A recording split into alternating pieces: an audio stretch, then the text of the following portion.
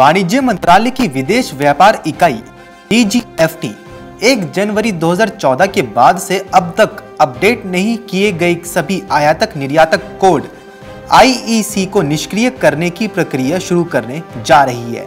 यह प्रक्रिया 6 दिसंबर 2021 से प्रभावी होगी। यह एक ऐसा कदम है जो देश में वास्तविक व्यापारियों की वास्तविक संख्या जानने में मदद करेगा। डीजीएफटी की तरफ़ से जारी एक नोटिस के मुताबिक अपडेट नहीं किए गए इंपोर्ट एक्सपोर्ट कोड को 6 दिसंबर से निष्क्रिय करना शुरू कर देगा।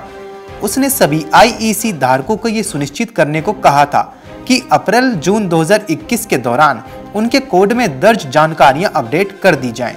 वैसे आईईसी को अभी 5 दिसंबर तक अपडेट किया जा सकता है।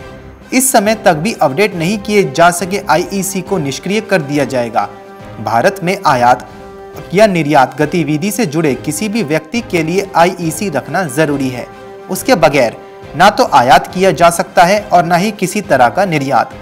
हालाँकि 6 दिसंबर के बाद निष्क्रिय हो जाने वाले आईईसी को भी आयातक या निर्यातक डीजीएफटी की वेबसाइट के ज़रिए फिर से सक्रिय कर सकते हैं, लेकिन उसके लिए उन्हें संबंधित सूचनाओं को अपडेट करना होगा। उद्योग जगत का मानना है कि डीजीएफटी के इस कदम से देश में सक्रिय आयात को एवं निर्यात को की सही संख्या का पता लगाने में मदद मिलेगी।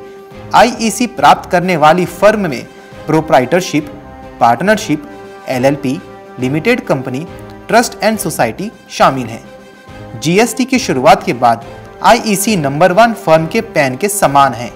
पिछले हफ़्ते केंद्रीय वाणिज्य एवं उद्योग मंत्री पीयूष गोयल ने कहा था कि भारतीय अर्थव्यवस्था के सभी क्षेत्रों में उछाल देखा जा रहा है और देश वस्तुओं और सेवाओं के निर्यात के मामले में ऐतिहासिक ऊंचाई की ओर अग्रसर है।